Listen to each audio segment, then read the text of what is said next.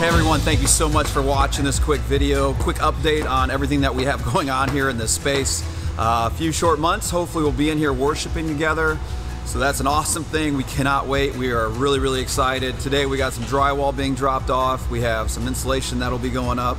Uh, hoping to get an inspection later this week so that way we can start getting the drywall hung on the walls.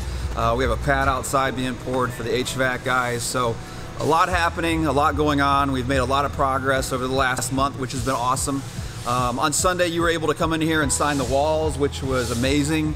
Uh, and it's really it was just a, a, prayer to the Lord, like thank you for this space and just the dedication of the building that will forever be written on the walls uh, behind the drywall. So the Lord always knows how appreciative we are. So this Sunday we'll have this open as well. So if you want to come in and sign the walls uh, again, and just a quick prayer or a verse on the walls, whatever it might be, uh, that would be amazing. Uh, but after that, we gotta we gotta close it up so that way we can get, course, uh, drywall up and all that. But um, Martin mentioned on Sunday just uh, a Close the Gap campaign that we're kind of starting. So initially we were able to raise over uh, $600,000, almost 700,000 on the initial campaign that we did, um, which is mind-blowing. Uh, we mentioned 30K uh, was the largest gift means there's total buy-in from the church on this. Everyone understands and knows how bad uh, we need more space. Uh, so the Close the Gap campaign is really us trying to do a couple special offerings to be able to uh, raise that extra funds needed to be able to come into this space debt free.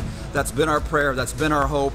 Uh, we are praying that God allows us to sit here week one with this paid off. That would be incredible. That would be a testimony of God's amazing glory and grace and is just his gifts to us as a church. So um, be praying for that in the same way. Uh, be looking for that. Um, more information on when those special offerings will be, but one will be August, one will be September. So thank you so much for your generosity, your time, your, your talent, your gifts that you've poured into this place. Uh, appreciate it. Uh, God bless.